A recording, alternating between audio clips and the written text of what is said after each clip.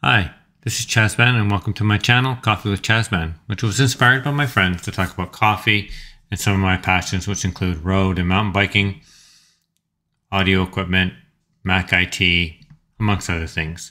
So today I want to talk about uh, cleaning your machine. And you can see here right now the pressure gauge for the boiler is at one bar. It was down at zero. I had gone into eco mode so I've uh, woken the machine up by pressing that button. We're to get it to wake up. And you can see here it's showing clean 6. That was showing clean 10 uh, because uh, I'd made some morning shots.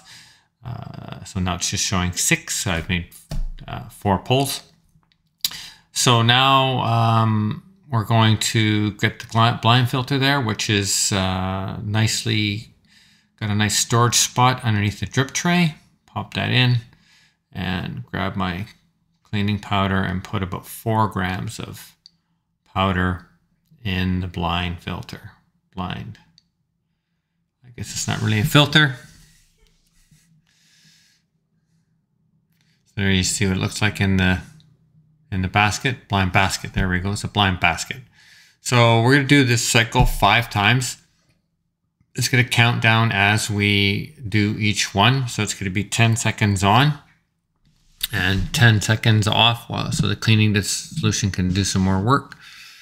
So we're just going to keep on doing this over and over and over again. I like to take it out uh, sometimes between and just give it a little swirl, kind of mix the, help mix up the powder inside the uh, blind basket. And so here's another uh, 10 seconds. Uh, this is second one. And you'll see that when we discharge it here, coming out of the discharge area, you can see that nice foam. So it means it's nicely activated and uh, the cleaning foam is doing a nice job for the back flush. Uh, that uh, cleaning cycle on the PID display there, um, you can program the cleaning cycle, how often you would like to clean your machine. I like to clean my machine about uh, once every 30 pulls, so I can program it. I want to do it every 30 pulls that can be switched to however many times you like to do it. Um, for me, that works out to be about once a week for 30 pulls. Um, so for you, you might be, you do more. So you'd set it over a course of a week. Um, so you might set it to 50 pulls or something like that. So we'll just keep on doing this until, um, there you go. There's the power, the foam looks like in the basket. I think we're down to our last one here.